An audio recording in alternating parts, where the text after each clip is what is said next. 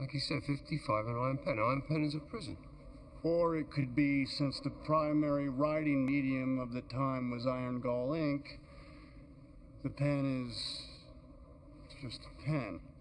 But then why not say a pen? Why why say iron pen? Because it's a prison. Wait a minute, iron pen. The iron does not describe the ink in the pen.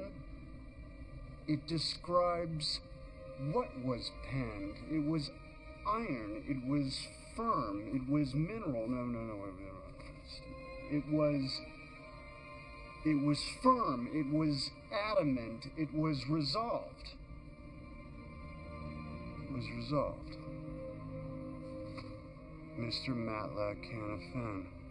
Timothy Matlack was the official scribe of the Continental Congress, calligrapher, not writer, and to make sure he could not offend the map, it was put on the back of a resolution that he transcribed, a resolution that 55 men signed.